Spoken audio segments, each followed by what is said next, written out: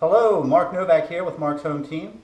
Standing in with Amanda at 3082 Raking Leaf. Going to be hitting the market Friday. Super excited. The stager was here last week. They've got this house completely ready for you. The photographer just left, so we're going to be uploading those pictures real soon.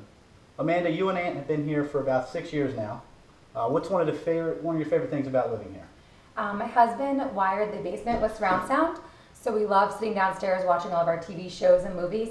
And we also put an upgraded patio in outside with seating. So we love sitting out back, hosting our friends, plus the patio is nestled in, which creates a nice element of privacy. Oh yeah, that patio is really nice. Perfect space for entertaining. I can't wait to show it to you. Check us out on Mark's Home Team at Facebook, also on Twitter, Mark's Home Team. Look forward to seeing you soon. Be on the lookout Friday.